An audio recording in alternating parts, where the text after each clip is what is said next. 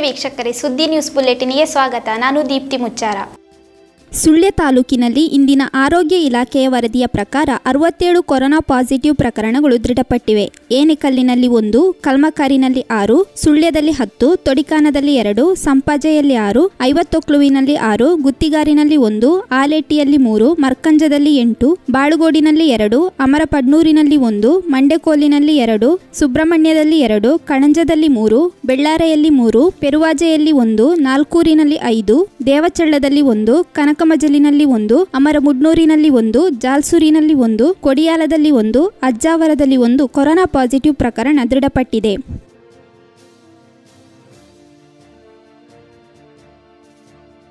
ಐವರ್ನಾಡು ಗ್ರಾಮ ಪಂಚಾಯತ್ ವ್ಯಾಪ್ತಿಯಲ್ಲಿ ಜಿಲ್ಲಾಧಿಕಾರಿಯವರ ಆದೇಶದಂತೆ ಸೀಲ್ ಡೌನ್ ಮಾಡಲಾಗಿದ್ದು, ಪೊಲೀಸರು ವಾಹನ ತಪಾಸಣೆಯಲ್ಲಿ ತೊಡಗಿದ್ದಾರೆ. ಅನಗತ್ಯವಾಗಿ ಓಡಾಡುವವರಿಗೆ ದಂಡ ವಿಧಿಸಲಾಗುತ್ತದೆ.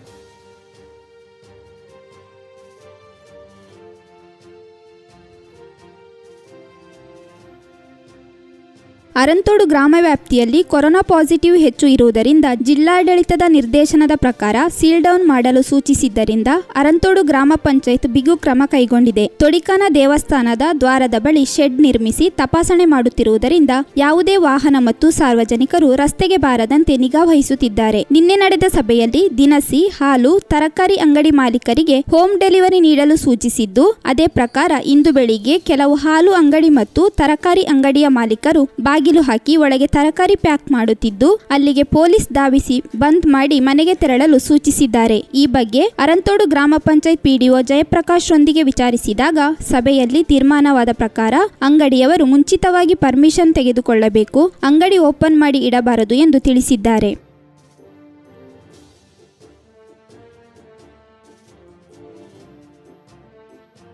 ಅಮರಮುಡ್ನೂರು ಪಂಚಾಯತ್ ಸೀಲ್ಡೌನ್ ಹಿನ್ನೆಲೆಯಲ್ಲಿ ತುರ್ತು ಸಭೆಯು ನಿನ್ನೆ ಪಂಚಾಯತ್ ಅಧ್ಯಕ್ಷೆ ಪದ್ಮಪ್ರಿಯ ಮೇಲ್ತೋಟರವರ ಅಧ್ಯಕ್ಷತೆಯಲ್ಲಿ ನಡೆಯಿತು. ಪಂಚಾಯತ್ ಉಪಾಧ್ಯಕ್ಷೆ ಶಶಿಕಲಾ ಕೇನಡ್ಕ, ಪಿಡಿಒ ಆಕಾಶ್, ಕಾರ್ಯದರ್ಶಿ ದಯಾನಂದ ಪತ್ತುಕುಂಜ ಉಪಸ್ಥಿತರಿದ್ದರು. ಅಮರಮುಡ್ನೂರು ಗ್ರಾಮ ಪಂಚಾಯತ್ ವ್ಯಾಪ್ತಿಯಲ್ಲಿ ಸೀಲ್ಡೌನ್ ಘೋಷಣೆಯಾದ ಹಿನ್ನೆಲೆಯಲ್ಲಿ ರಸ್ತೆಯ ಜಂಕ್ಷನ್ನಲ್ಲಿ ಬ್ಯಾರಿಕೇಡ್ ಅಳವಡಿಸುವುದು ಅಮರಪಡ್ನೂರು ಮತ್ತು ಅಮರಮುಡ್ನೂರು ಗ್ರಾಮದಲ್ಲಿರುವ ಎಲ್ಲ ಅಂಗಡಿ ಮುಂಗಟ್ಟುಗಳನ್ನು ಬ್ಯಾಂಕ್, ಅಂಚೆ ಕಚೇರಿ, ಸಹಕಾರಿ ಸಂಘಗಳು ಸಂಪೂರ್ಣ ಬಂದ್ ಮಾಡಿಸುವುದು, ಬೇರೆ ಗ್ರಾಮಗಳಿಂದ ಬರುವ ವಾಹನಗಳಿಗೆ ಪ್ರವೇಶ ನಿರ್ಬಂಧ ಹೇರುವುದಾಗಿ ತೀರ್ಮಾನಿಸಲಾಯಿತು. ಅಗತ್ಯ ಆಹಾರ ಸಾಮಗ್ರಿಗಳು ಬೇಕಾದಲ್ಲಿ ಸ್ಥಳೀಯ ಪಂಚಾಯತ್ ಸದಸ್ಯರಿಗೆ ಅಥವಾ ಅಂಗಡಿ ಮಾಲೀಕರಿಗೆ ದೂರವಾಣಿ ಮೂಲಕ ತಿಳಿಸಿದಲ್ಲಿ ಪಾವತಿ ಆಧಾರದಲ್ಲಿ ಸಾಮಗ್ರಿಗಳನ್ನು ಮನೆಗೆ ತಲುಪಿಸುವ ವ್ಯವಸ್ಥೆ ಮಾಡುವುದಾಗಿ ತೀರ್ಮಾನಿಸಲಾಗಿದೆ. ಕೋವಿಡ್ ಸಂದರ್ಭ ಅವಶ್ಯ ಸಹಾಯ ಬೇಕಾದಲ್ಲಿ ಕೋವಿಡ್ ಸಹಾಯವಾಣಿಗೆ ಸಂಪರ್ಕಿಸುವುದು, ಸೀಲ್ ಡೌನ್ ಸಂದರ್ಭ ಅನಗತ್ಯ ನಿಯಮ ಉಲ್ಲಂಘಿಸುವವರ ವಿರುದ್ಧ ಕಾನೂನು ಪ್ರಕಾರ ದಂಡ ವಿಧಿಸುವ ಬಗ್ಗೆ ನಿರ್ಣಯಿಸಲಾಗಿದೆ.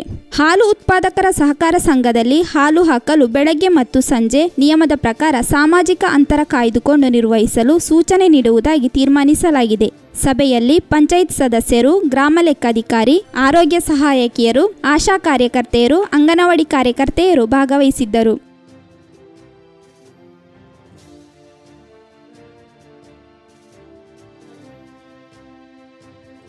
ಕೊಲ್ಲಮುಗ್ರ ಗ್ರಾಮ ಪಂಚಾಯತ್ ವ್ಯಾಪ್ತಿಯನ್ನು ಕೊರೋನಾ ಹಿನ್ನೆಲೆಯಲ್ಲಿ ಸೀಲ್ ಡೌನ್ ಮಾಡಲಾಗಿದ್ದು, ಕೊಲ್ಲಮುಗ್ರು ಮತ್ತು ಕಲ್ಮಕರು ಗ್ರಾಮಗಳ ಎಲ್ಲಾ ಸಾರ್ವಜನಿಕ ಮತ್ತು ಖಾಸಗಿ ಸಂಸ್ಥೆಗಳನ್ನು ಇಂದಿನಿಂದ ಬಂದ್ ಮಾಡಲಾಗಿದೆ. ಕೊಲ್ಲಮುಗ್ರು ಹರಿಹರ ಪ್ರಾಥಮಿಕ ಕೃಷಿ ಪತ್ತಿನ ಸಹಕಾರಿ ಸಂಘದ ಕೊಲ್ಲಮುಗ್ರು ಶಾಖೆ, ಕೊಲ್ಲಮುಗ್ರುವಿನ ಬ್ಯಾಂಕ್ ಆಫ್ ಬರೋಡಾ ಎರಡು ಗ್ರಾಮಗಳ ಅಂಚೆ ಕಚೇರಿಯನ್ನು ಹಾಗೂ ಎಲ್ಲಾ ಅಂಗಡಿ ಮುಂಗಟ್ಟುಗಳನ್ನು ಒಂದು ವಾರಗಳ ಕಾಲ ಮುಚ್ಚುವಂತೆ ತೀರ್ಮಾನಿಸಲಾಗಿದ್ದು, ಈ ಬಗ್ಗೆ ಜೂನ್ ಹದಿನಾಲ್ಕರಂದು ಕೊಲ್ಲಮುಗ್ರು ಗ್ರಾಮ ಪಂಚಾಯತ್ನ ಕೊರೋನಾ ಕಾರ್ಯಪಡೆ ಸಭೆಯಲ್ಲಿ ನಿರ್ಧರಿಸಲಾಗಿದೆ. ಎಂದು ತಿಳಿದು ಬಂದಿದೆ. ಕೊಲ್ಲಮುಗ್ರವಿಗೆ ಒಳಬರುವ ಹಾಗೂ ಹೊರ ಸಂಚಾರಕ್ಕೆ ನಿರ್ಬಂಧಿಸಲಾಗಿದ್ದು ಕಟ್ಟ ಕ್ರಾಸ್ ಬಳಿ ರಸ್ತೆ ಬಂದ್ ಮಾಡಲಾಗಿದೆ.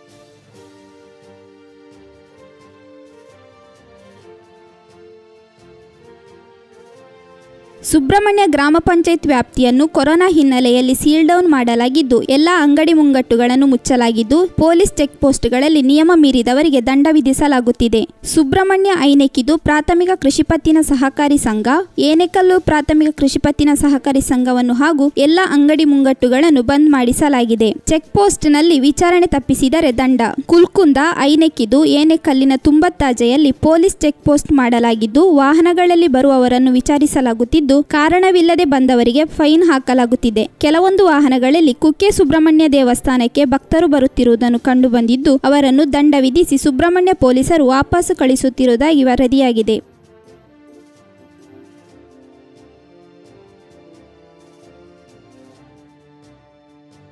ಕಳೆದ ಕೆಲವು ದಿನಗಳಿಂದ ಸುರಿಯುತ್ತಿರುವ ಭಾರಿ ಮಳೆಯಿಂದ ಮುಂದುವರೆದಿದೆ. ಕುಕ್ಕೆ ಸುಬ್ರಹ್ಮಣ್ಯದ ಕುಮಾರಧಾರ ನದಿ ತುಂಬಿ ಹರಿದಿದೆ. ನಿನ್ನೆ ಸುರಿದ ಭಾರಿ ಮಳೆಗೆ ನದಿ ನೀರಿನ ಮಟ್ಟ ಏರಿಕೆಯಾಗಿದ್ದು, ಕುಕ್ಕೆ ಸುಬ್ರಹ್ಮಣ್ಯದ ಕುಮಾರಧಾರ ಸ್ನಾನಘಟ್ಟ ಭರ್ತಿಯಾಗಿದ್ದು, ಕಿಂಡಿ ಅಣೆಕಟ್ಟು ಮುಳುಗುವ ಹಂತ ತಲುಪಿತ್ತು.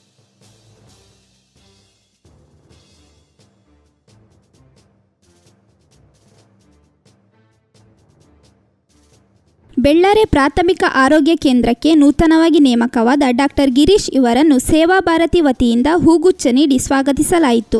ಬೆಳ್ಳಾರೆ ಜನತೆಯ ಬಹುವರ್ಷಗಳ ಬೇಡಿಕೆಯನ್ನು ಪೂರೈಸಿದ ಸರ್ಕಾರದ ಮೀನುಗಾರಿಕೆ, ಬಂದರು ಹಾಗೂ ಒಳನಾಡು ಸಾರಿಗೆ ಸಚಿವರಾದ ಎಸ್. ಅಂಗಾರ ಮತ್ತು ಸಂಸದರು, ಬಿಜೆಪಿ ರಾಜ್ಯಾಧ್ಯಕ್ಷರೂ ಆದ ನಳಿನ್ ಕುಮಾರ್ ಕಟೀಲ್ ಹಾಗೂ ಅಧಿಕಾರಿಗಳಿಗೆ ಸ್ಥಳೀಯರ ಪರವಾಗಿ ಕೃತಜ್ಞತೆ ಸಲ್ಲಿಸಲಾಯಿತು. ಈ ಸಂದರ್ಭದಲ್ಲಿ ತಾಲೂಕು ವೈದ್ಯಾಧಿಕಾರಿ ಡಾಕ್ಟರ್ ನಂದಕುಮಾರ್, ಡಾಕ್ಟರ್ ಅಶ್ವತಿ ದಕ್ಷಿಣ ಕನ್ನಡ ಜೇನು ವ್ಯವಸಾಯ ಸಹಕಾರಿ ಸಂಘದ ಜಿಲ್ಲಾ ಅಧ್ಯಕ್ಷ ಚಂದ್ರ ಕೋಲ್ಚರ್ ಪೆರುವಾಜೆ ಜಲದುರ್ಗಾದೇವಿ ದೇವಸ್ಥಾನ ಆಡಳಿತ ಮಂಡಳಿ ಸಮಿತಿ ಅಧ್ಯಕ್ಷ ಪದ್ಮನಾಭ ಶೆಟ್ಟಿ, ಗ್ರಾಮ ಸ್ವರಾಜ್ಯ ತಂಡದ ನಾಯಕ ಆರ್ ಕೆ ಭಟ್, ಬೆಳ್ಳಾರೆ ಗ್ರಾಮ ಪಂಚಾಯತ್ ಅಧ್ಯಕ್ಷ ಚಂದ್ರಶೇಖರ ಪನ್ನೆ, ಬಿಜೆಪಿ ಅಧ್ಯಕ್ಷರು ಜಿಲ್ಲಾ ಕಾರ್ಯಕಾರಿಣಿ ಸದಸ್ಯ ಪ್ರವೀಣ್ ನೆಟ್ಟಾರು, ಯತೀಶ್ ಆರ್ವಾರ ಪ್ರೇಮಚಂದ್ರ ಪ್ರೇಮ್ ಸ್ಟುಡಿಯೋ, ವೀರನಾಥನ್, ಮಾಧವ ತಡಗಜೆ, ಭಾಸ್ಕರ್ ನೆಟ್ಟಾರು, ಪ್ರವೀಣ್ ಚಾವಡಿ ಬಾಗಿಲು, ಶೈಲೇಶ್ ನೆಟ್ಟಾರು, ಆಸ್ಪತ್ರೆ ಸಿಬ್ಬಂದಿ ವರ್ಗದವರು ಹಾಜರಿದ್ದರು.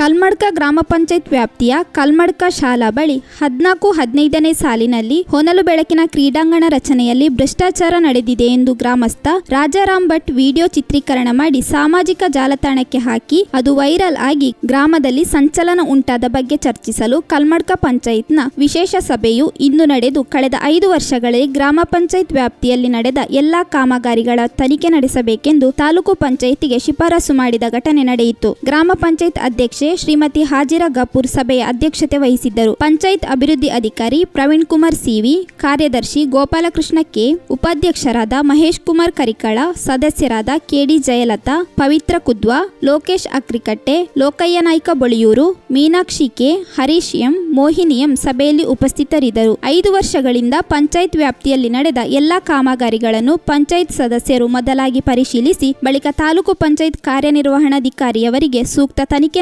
ನಡೆಸುವಂತೆ ಮನವಿ ನೀಡಲಾಗುವುದೆಂದು ಸಭೆಯಲ್ಲಿ ನಿರ್ಣಯಿಸಲಾಯಿತು.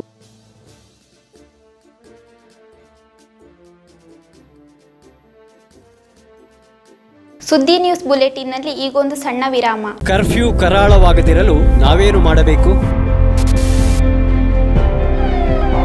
ಸುದ್ದಿ ಪ್ರಸಾರವಷ್ಟೇ ನಮ್ಮ ಕೆಲಸವಲ್ಲ. ಜನರೊಂದಿಗೆ ಸದಾ ಇರುತ್ತೆ ನಿಮ್ಮ ಸುದ್ದಿ. ಜನರ ಸೇವೆಗಾಗಿ ಸದಾ ಸನ್ನದ್ಧ ಸುದ್ದಿಯ ಸೈನ್ಯ. ಸುದ್ದಿ ಸಹಾಯವಾಣಿಗೆ ಕರೆ ಮಾಡಿ ಸಮಸ್ಯೆ ಹೇಳಿ. ಸಹಾಯವಾಣಿ number Sullia nine four eight one zero nine one nine four nine ಮತ್ತು six three six double three double two zero four zero Puttur nine six two zero three seven two three eight nine ಮತ್ತು seven two zero four nine double seven nine four nine. Belthangady nine double four eight four five double four six two ಮತ್ತು eight zero five zero two nine four zero five two. ವಿರಾಮದ ನಂತರ ಸುದ್ದಿ news ಬುಲೆಟಿನಿಗೆ ಮತ್ತೆ ಸ್ವಾಗತ. ಸುಳ್ಯ ನಗರದ ತ್ಯಾಜ್ಯವನ್ನು ಕಲ್ಚರ್ಪೆಯಲ್ಲಿ ಹಾಕಲಾಗಿದ್ದು, ಇದೀಗ ಮಳೆಯ ನೀರು ಕಸದ ಜೊತೆಗೆ ಬಿದ್ದು, ಜೊತೆಗೆ ಪೂಮಲೆಯಿಂದ ಹರಿದು ಬರುವ ನೀರು ಸೇರಿ ಪಯಸ್ವಿನಿ ಸೇರುತ್ತಿದೆ. ಕಲ್ಚರ್ಪೆ ಕಸಕ್ಕೆ ಮುಕ್ತಿ ಕಾಣಿಸದ ನಗರ ಪಂಚಾಯತ್ನ ವಿರುದ್ಧ ಸ್ಥಳೀಯ ನಿವಾಸಿಗಳು ಆಕ್ರೋಶ ವ್ಯಕ್ತಪಡಿಸುತ್ತಿದ್ದಾರಲ್ಲದೆ, ತ್ಯಾಜ್ಯದಿಂದ ಹೊರಬರುವ ಕೊಳಕು ನೀರು ಪಯಸ್ವಿನಿ ಸೇರುತ್ತಿರುವುದನ್ನು ಮೊಬೈಲ್ನಲ್ಲಿ ಸೆರೆ ಹಿಡಿದು ಪತ್ರಿಕೆಗೆ ಕಳುಹಿಸುವುದರ ಜೊತೆಗೆ ಸಾಮಾಜಿಕ ಜಾಲತಾಣದಲ್ಲಿಯೂ ಹರಿಬಿಟ್ಟಿದ್ದಾರೆ. ಸುಳ್ಯ ಪೆರಾಜೆ ಕಲ್ಚರ್ಪೆ ಸಿರಿಕುರಲ್ ನಗರದ ಶ್ರೀ ವನದುರ್ಗ ದೈವಸ್ಥಾನದ ಸಮೀಪ ಪೂಮಲೆ ಭಾಗದಿಂದ ಹರಿದು ಬರುತ್ತಿರುವ ನೀರಿನ ಕಣಿಯಲ್ಲಿ ತ್ಯಾಜ್ಯಗಳು ತುಂಬಿದ ಚೀಲಗಳು ಇಂದು ಮುಂಜಾನೆ ಸಂಕ್ರಮಣ ಪ್ರಯುಕ್ತ ದೈವಸ್ಥಾನಕ್ಕೆ ದೀಪ ಹಚ್ಚಲು ತೆರಳಿರುವ ಸ್ಥಳೀಯರ ಕಣ್ಣಿಗೆ ಬಿದ್ದಿದೆ. ವಿಷಯ ತಿಳಿದ ದೈವಸ್ಥಾನದ ಆಡಳಿತ ಸಮಿತಿಯ ಅಧ್ಯಕ್ಷ ಗೋಕುಲ್ ದಾಸ್ ಹಾಗೂ ಊರವರು ಈ ಘಟನೆಯನ್ನು ತೀವ್ರವಾಗಿ ಖಂಡಿಸಿದ್ದಾರೆ. ಈ ಪರಿಸರದಲ್ಲಿ ಪ್ರಾಕೃತಿಕ ರಮಣೀಯವಾಗಿ ಹರಿದು ಬರುತ್ತಿರುವ ನೀರಿನ ಜರಿಗೆ ಕಸ ತುಂಬಿದ ಚೀಲಗಳನ್ನು ಹಾಕಿ ಪರಿಸರವನ್ನು ಕಲುಷಿತಗೊಳಿಸುತ್ತಿರುವುದು ಖಂಡನೀಯ ಹಾಗೂ ಈ ಭಾಗದಿಂದ ಹರಿದು ಬರುವ ನೀರು ಪಯಸ್ವಿನಿ ನದಿಗೆ ಸೇರುತ್ತಿದ್ದು, ಇದರಿಂದ ಜೀವನದಿ ಪಯಸ್ವಿನಿ ಕೂಡ ಕಲುಷಿತಗೊಳ್ಳಲು ಕಾರಣವಾಗಿದೆ ಎಂದು ಅವರು ತಿಳಿಸಿದ್ದಾರೆ. ಇದೀಗ ಮಳೆಗಾಲ ಆರಂಭಗೊಂಡಿದ್ದು ಕಲ್ಚರ್ಪೆ ಪರಿಸರದಲ್ಲಿ ಈಗಾಗಲೇ ಶೇಖರಿಸಿಟ್ಟಿರುವ ಕಸದ ರಾಶಿಯನ್ನು ಖಾಲಿ ಮಾಡುವ ಉದ್ದೇಶದಿಂದ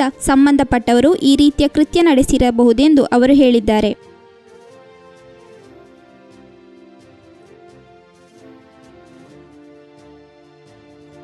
ಸುಳ್ಯ ಶಿವ ಆಂಬ್ಯುಲೆನ್ಸ್ ಮತ್ತು ಟ್ರಾವೆಲ್ಸ್ ಸಂಸ್ಥೆಯ ಮಾಲಕ ಶಿವರವರ ನೇತೃತ್ವದಲ್ಲಿ ನೂರು ಮಂದಿಗೆ ಆಹಾರ ಪೊಟ್ಟಣ ವಿತರಣೆ ಇಂದು ನಡೆಯಿತು. ಸುದ್ದಿ ಪತ್ರಿಕೆಯ ವರದಿಗಾರ ಹಸೈನರ್ ಜಯನಗರ ಆಹಾರ ಪೊಟ್ಟಣವನ್ನು ಜ್ಯೋತಿ ವೃತ್ತದ ಬಳಿ ವಾಹನ ಚಾಲಕರಿಗೆ ವಿತರಿಸುವ ಮೂಲಕ ಚಾಲನೆ ನೀಡಿದರು. ಈ ಸಂದರ್ಭದಲ್ಲಿ ಮಾತನಾಡಿದ ಶಿವರವರು, ಲಾಕ್ಡೌನ್ ಹಿನ್ನೆಲೆಯಲ್ಲಿ ಅಂಗಡಿ ಮುಂಗಟ್ಟುಗಳು ಮುಚ್ಚಲ್ಪಟ್ಟಿರುವುದರಿಂದ ಹೊರ ಊರುಗಳಿಂದ ಬರುತ್ತಿರುವ ಗೂಡ್ಸ್ ಲಾರಿ ಚಾಲಕರು, ಕಾರ್ಮಿಕರು, ಚಿಕಿತ್ಸಾ ನಿಮಿತ್ತ ಆಸ್ಪತ್ರೆಗೆ ತೆರಳುವವರು ಸಂಚರಿಸುವ ರಸ್ತೆಗಳಲ್ಲಿ ಆಹಾರ ಪದಾರ್ಥಗಳು ಸಿಗದೆ ಸಂಕಷ್ಟದಲ್ಲಿ ಇರುತ್ತಾರೆ. ಇದಕ್ಕೆ ಸ್ಪಂದಿಸುವ ನಿಟ್ಟಿನಲ್ಲಿ ಕನಿಷ್ಠ ಒಂದು ದಿನವಾದರೂ ಈ ಸೇವೆಯನ್ನು ಮಾಡುವ ಬಗ್ಗೆ ಆಲೋಚನೆ ಮಾಡಿದೆ. ಅದರಂತೆ ಇಂದು ನನ್ನ ಸಹ ಚಾಲಕರ ಸಹಯೋಗದೊಂದಿಗೆ ಒಂದು ಕಾರ್ಯ ಮಾಡಲು ಸಾಧ್ಯವಾಯಿತು ಎಂದು ಹೇಳಿದರು. ಪ್ರಸ್ತುತ ಪರಿಸ್ಥಿತಿ ಕೊರೋನಾ ಸಂಕಷ್ಟದಿಂದ ಜನರು ಬಳಲುತ್ತಿದ್ದು, ನಮ್ಮ ಸಂಸ್ಥೆಯ ವತಿಯಿಂದ ಹಲವಾರು ಉಚಿತ ಸೇವೆಗಳನ್ನು ನೀಡಿರುತ್ತೇವೆ. ಗುತ್ತಿಗಾರು, ಸುಬ್ರಹ್ಮಣ್ಯ ಭಾಗದ ಜನತೆಗೆ ಸಹಕಾರವಾಗುವಂತೆ ಒಂದು ಆಂಬುಲೆನ್ಸ್ ವಾಹನವನ್ನು ಉಚಿತವಾಗಿ ನೀಡಿರುತ್ತೇವೆ. ಇಂತಹ ಸಂದರ್ಭದಲ್ಲಿ ನನ್ನಿಂದ ಆಗುವ ಸಹಾಯವನ್ನು ಸಮಾಜಕ್ಕೆ ನೀಡುತ್ತಿದ್ದೇನೆ ಎಂದು ಅವರು ಹೇಳಿದರು. ಈ ಸಂದರ್ಭದಲ್ಲಿ ಆಂಬ್ಯುಲೆನ್ಸ್ ಚಾಲಕರಾದ ಆಬಿದ್ ಜಯನಗರ, ಶಮೀಂ ಜೂನಿಯರ್ ಕಾಲೇಜು, ಇಬ್ರಾಹಿಂ ಕುರುಂಜಿಗುಡೆ, ತೌಫಿಕ್ ಜಯನಗರ, ಶಫೀಕ್, ಶಾಹಿದ್ ಸಹಕರಿಸಿದರು.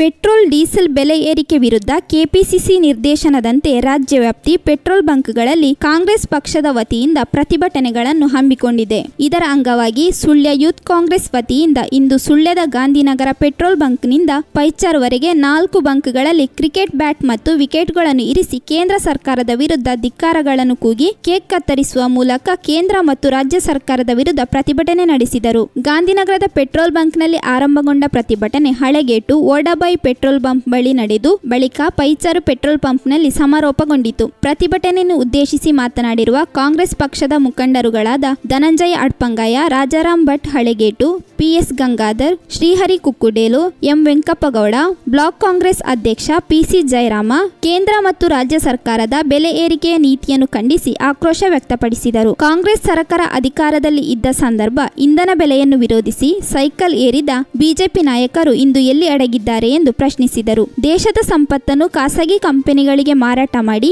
ಇಂಧನ ಬೆಲೆಯಿಂದ ಬರುತ್ತಿರುವ ಕೋಟಿ ಕೋಟಿ ಆದಾಯವನ್ನು ಏನು ಮಾಡಿದರು ಎಂದು ಕೇಳಿದರು. ದೇಶವನ್ನು ಅಧಪತನಕ್ಕೆ ಕೊಂಡೊಯ್ಯುತ್ತಿರುವ ಬಿಜೆಪಿ ಸರ್ಕಾರ ದೇಶದ ಜನತೆಯನ್ನು ಸರ್ವನಾಶ ಮಾಡಲು ಹೊರಟಿದೆ ಎಂದು ಆರೋಪಿಸಿದರು. ಹಿಂದೆ ಬಿಜೆಪಿಯವರು ನೆರೆಹೊರೆ ದೇಶಗಳಲ್ಲಿನ ಪೆಟ್ರೋಲ್ ಬೆಲೆಯನ್ನು ನಮ್ಮ ದೇಶದ ಪೆಟ್ರೋಲ್ ಬೆಲೆಗೆ ಹೋಲಿಸಿ ಬಿಜೆಪಿ ಸರ್ಕಾರ ದೇಶದಲ್ಲಿ ಬಂದರೆ ಬಿಸ್ಲೇರಿ ನೀರಿನ ಬಾಟಲಿ ದರದಲ್ಲಿ ಮಾರಾಟ ಮಾಡುತ್ತೇವೆ ಎಂದು ಅಂದು ಭಾಷಣ ಮಾಡಿ ಇಂದು ನಿದ್ದೆ ಮಾಡಿದ್ದಾರಾ ಅಥವಾ ಬೇರೆ ಏನಾದರೂ ಮಾಡುತ್ತಿದ್ದಾರಾ? ಇವರು ಹಿಂದಿನ ಸರ್ಕಾರ ಸಾಲ ಮಾಡಿ ಹೋಗಿದೆ ಎಂಬ ಆರೋಪ ಮಾಡುತ್ತಿದ್ದಾರೆ. ಆದರೆ ಎಪ್ಪತ್ತು ವರ್ಷಗಳಲ್ಲಿ ಕಾಂಗ್ರೆಸ್ ಮಾಡಿದ ಸಾಲ ಐವತ್ಮೂರು ಲಕ್ಷದ ಹನ್ನೊಂದು ಸಾವಿರದ ಎಂಬತ್ತೊಂದು ಸಾವಿರ ಕೋಟಿ. ಆದರೆ ಬಿಜೆಪಿ ಅಧಿಕಾರಕ್ಕೆ ಬಂದ ನಂತರ ಕೇವಲ ಐವತ್ತೇಳು ತಿಂಗಳಲ್ಲಿ, ಅಂದರೆ ಎರಡು ಸಾವಿರದ ಹದಿನಾಲ್ಕರಿಂದ ಎರಡು ಸಾವಿರದ ಹದಿನೆಂಟರ ಅವಧಿಗೆ ಮಾಡಿದ ಸಾಲ ಎಷ್ಟು ಗೊತ್ತೇ? ಮೂವತ್ತು ಲಕ್ಷದ ಇಪ್ಪತ್ತೆಂಟು ಸಾವಿರದ ಒಂಬೈನೂರ ನಲವತ್ತೈದು ಸಾವಿರ ಕೋಟಿಗಳು ಎಂದು ಕೆಪಿಸಿಸಿ ಮಾಜಿ ಕಾರ್ಯದರ್ಶಿ ಎಂ ವೆಂಕಪ್ಪಗೌಡ ಪ್ರಶ್ನಿಸಿದರು. ಈ ಸಂದರ್ಭದಲ್ಲಿ ಸುಳ್ಯ ತಾಲೂಕು ಯೂತ್ ಕಾಂಗ್ರೆಸ್ ಅಧ್ಯಕ್ಷ ಶಾಹುಲ್ ಹಮೀದ್ ಕುತ್ತಮೊಟ್ಟೆ, ಎನ್ಎಸ್ಯುಐ ಅಧ್ಯಕ್ಷ ಕೀರ್ತನ್ ಕೊಡಪಾಲ ಇಂಧನ ಬೆಲೆ ಏರಿಕೆಯನ್ನು ವಿರೋಧಿಸಿ ಮಾತನಾಡಿ ಆಕ್ರೋಶ ವ್ಯಕ್ತಪಡಿಸಿದರು. ಪ್ರತಿಭಟನೆಯಲ್ಲಿ ಕೆಪಿಸಿಸಿ ಮಾಜಿ ಕಾರ್ಯದರ್ಶಿ ಟಿಎಂ ಶಹೀದ್, ಕಾಂಗ್ರೆಸ್ ಮುಖಂಡರುಗಳಾದ ಮಹಮ್ಮದ್ ಕುನ್ನಿ ಗೂನಡ್ಕ, ಗೋಕುಲ್ ದಾಸ್, ನಂದರಾಜ್ ಸಂಕೇಶ್, ಸುರೇಶ್ ಅಮೈ, ಶರೀಫ್ ಕಂಟಿ, ಶಾಫಿ ಕುತ್ತಮೊಟ್ಟೆ, ಶೈವದ್ ಗೂನಡ್ಕ ಹಾಗೂ ಯೂತ್ ಕಾಂಗ್ರೆಸ್ ಎಸ್ಎಸ್ಯುಐನ ಪದಾಧಿಕಾರಿಗಳು ಕಾರ್ಯಕರ್ತರು ಭಾಗವಹಿಸಿದ್ದರು.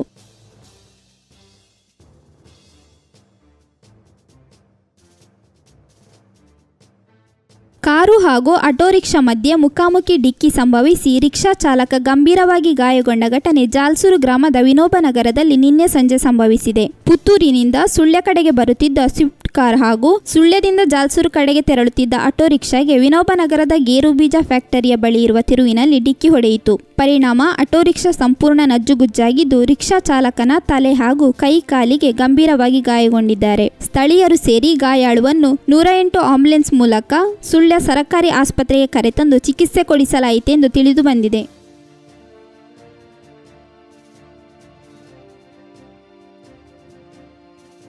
ದೇವಚಳ್ಳ ಗ್ರಾಮದ ದೇವ, ಕನ್ನಡ ಕಜೆ, ಚಿನ್ನಪ್ಪ ಹಾಗೂ ಪ್ರೇಮರವರ ಏಕೈಕ ಪುತ್ರ ಶಶಿಕುಮಾರ್ ಡೆಂಗ್ಯೂ ಜ್ವರಕ್ಕೆ ಬಲಿಯಾದ ಘಟನೆ ನಿನ್ನೆ ನಡೆದಿದೆ. ಇವರಿಗೆ ಇಪ್ಪತ್ತೇಳು ವರ್ಷ ವಯಸ್ಸಾಗಿತ್ತು. ಕಳೆದ ಐದು ದಿನಗಳ ಹಿಂದೆ ಡೆಂಗ್ಯೂ ಜ್ವರ ಕಾಣಿಸಿಕೊಂಡು ಸುಳ್ಯ ಸರಕಾರಿ ಆಸ್ಪತ್ರೆಯಲ್ಲಿ ದಾಖಲಾಗಿ ಹೆಚ್ಚಿನ ಚಿಕಿತ್ಸೆಗೆ ಮಂಗಳೂರಿನ ವೆನ್ಲಾಕಿಗೆ ತೆರಳಿದ್ದರು. ಅಲ್ಲಿ ಜ್ವರ ಉಲ್ಬಣಿಸಿ ನಿಧನರಾದರೆಂದು ತಿಳಿದು ಬಂದಿದೆ. ಇವರು ಸುಬ್ರಹ್ಮಣ್ಯದಲ್ಲಿ ಟ್ಯಾಕ್ಸಿ ಚಾಲಕರಾಗಿ ದುಡಿಯುತ್ತಿದ್ದರು.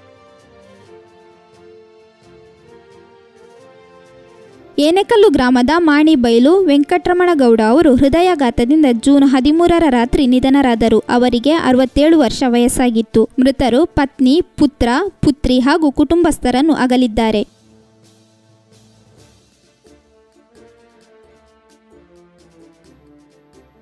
ಅಮರಪಡ್ನೂರು ಗ್ರಾಮದ ಮಾಪಳಗುಂಡಿ ರಾಮಣ್ಣ ನಾಯ್ಕರ ಪತ್ನಿ ಶ್ರೀಮತಿ ಕಮಲರವರು ಇಂದು ಬೆಳಿಗ್ಗೆ ಸುಳ್ಯದ ಕೆವಿಜಿ ಆಸ್ಪತ್ರೆಯಲ್ಲಿ ನಿಧನರಾದರು. ಅವರಿಗೆ ಐವತ್ತೇಳು ವರ್ಷ ವಯಸ್ಸಾಗಿತ್ತು. ಅಸೌಖ್ಯದಿಂದ ಇದ್ದ ಅವರಿಗೆ ಉಸಿರಾಟದ ಸಮಸ್ಯೆ ಕಂಡುಬಂದುದರಿಂದ ಹದಿನೈದು ದಿನಗಳ ಹಿಂದೆ ಕೆವಿಜಿ ಆಸ್ಪತ್ರೆಗೆ ದಾಖಲಿಸಲಾಗಿತ್ತು. ಮೃತರು ಪತಿ, ಪುತ್ರ, ಪುತ್ರಿಯರು, ಅಳಿಯಂದಿರು, ಸೊಸೆ, ಸಹೋದರ, ಸಹೋದರಿಯರು ಹಾಗೂ ಮೊಮ್ಮಕ್ಕಳನ್ನು ಅಗಲಿದ್ದಾರೆ.